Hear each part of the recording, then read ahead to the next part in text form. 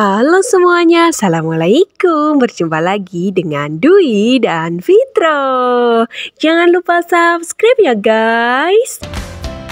Guys, ini bahan-bahan yang mau aku masak. Aku mau bikin es lilin merah putih karena bentar lagi 17 Agustus.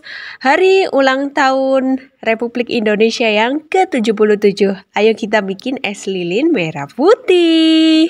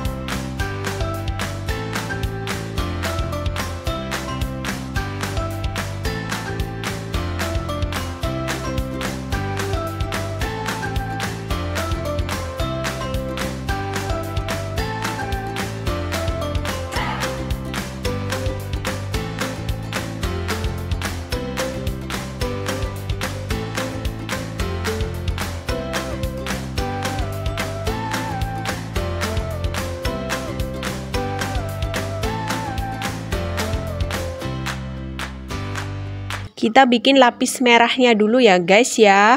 Pakai just juice. Nih.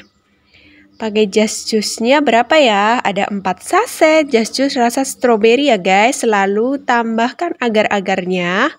Ini pakai yang mama suka, yang plain. Lalu kita masukkan air 800 ml ya. Lalu aduk-aduk rata ya guys. Lalu nyalakan kompornya. Masak sampai mendidih.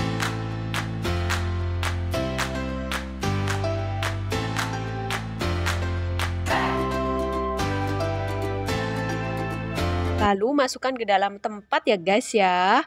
Tunggu sampai dingin. Lalu kita bikin uh, yang lapisan warna putihnya ini aku pakai Indomilk kental manis 4 saset ya guys ya. Lalu tambahkan Nutrijel plainnya. Lalu tambahkan air 700 ml ya guys ya. Aduk-aduk rata lalu nyalakan kompornya.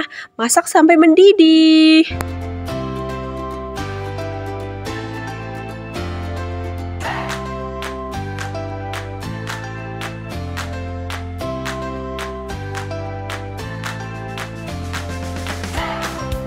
Lalu masukkan ke dalam tempat sampai ini dingin lalu kita uh, bungkus nih guys. Udah dibungkus ya guys. Lapisan bawahnya yang warna putih, yang atas warna merah biar seperti bendera merah putih. Lalu ini udah dibungkus semua lalu kita masukkan ke freezer ya guys ya biar jadi es lilin.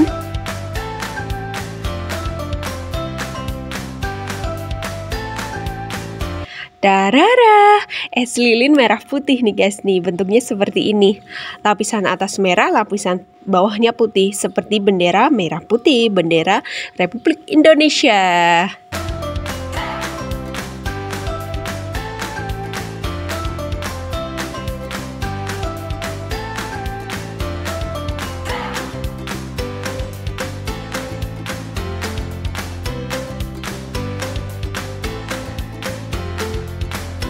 Ini kelihatannya seger banget guys dan udah aku cicipin. Ternyata lapisan atas karena just jus rasa strawberry ini rasanya hmm asam guys. Harusnya aku tambahin gula ya guys.